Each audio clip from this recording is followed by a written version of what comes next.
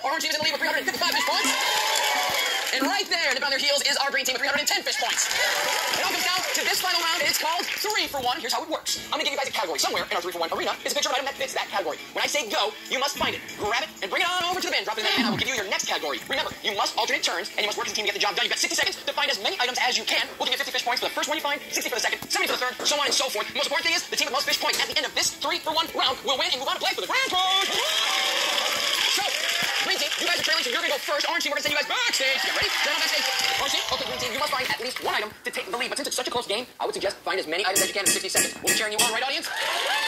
You're in your starting position. Good luck, green team. 60 seconds on the clock. This is for Zane. Ready, set, go. Find something with an antenna. Go, Zane, go. This is for the lead.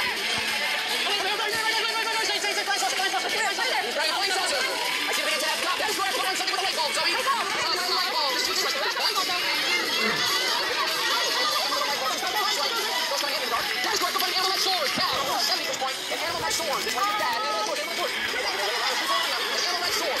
Animal that soars. Go, go, go, go, go, go. That is correct. Go find an animal with an open mouth for Zane.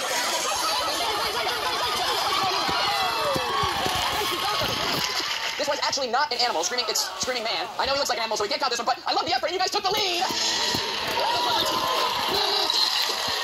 Welcome back, the orange team. Okay, orange team. The green team has taken the lead. You must find three items to win the game and move on to the grand prize round. Audience, we're cheering you guys on. Good luck, orange team. 60 seconds on the clock. This is for Bree. Ready, set, go. Find something with an antenna. For Bree, something with an antenna. For 50 fish points. Something with an antenna. Skating elves. That is correct. Go find something with a light bulb. For 60 fish points.